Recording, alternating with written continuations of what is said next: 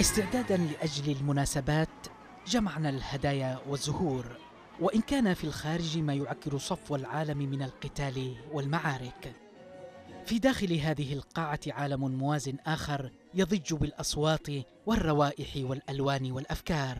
جاءت هذه الفعالية لإبراز الدور الحقيقي الذي تقدمه المرأة لإبراز الدور الفعال الذي في من عمق الحرب ومن عمق الحصار وفي ظل الظروف الصعبة. بعد غياب ثلاث سنوات كاملة تحثك تعز على الاحتفال بمناسبة ما في قاعة القمة شرق المدينة حيث نظمت مجموعة من النساء بازارا لعرض مشغولات يدوية لأمهات ضحايا قتلوا في الحرب التي تشهدها اليمن منذ ثلاث سنوات.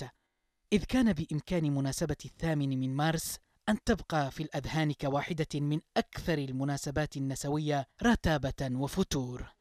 فقد اتسمت خيارات المجتمع هناك بنمطية الحرب ليس إلا لتحضر معها كل المناسبات خالية من أي تشويق أو مفاجآت. وعلى العكس كان الخميس الماضي طوق نجاة أنقذ المناسبة من ورطة الحرب في تعز حيث ضخ نكهة جديدة كانت المحافظة بأكملها بأمس الحاجة إليها لاستنشاق الفرح ولو لساعات بدلا من غاز القذائف والبارود. ما يزال في الحياة متسعا من الوقت رغبة في قضاء أوقات لطيفة في المناسبات السعيدة. وعند بدايات كل شيء سيمر عليك الشريط والوجوه والأحداث ربما ليس كما حصلت من قبل وقالوا الحرب أفسدت كل شيء في المدينة. إلى هنا انتهى اليوم ولم تنتهي الحرب أوقفوها. نريد للأطفال أن يكبروا ويغفون بسلام.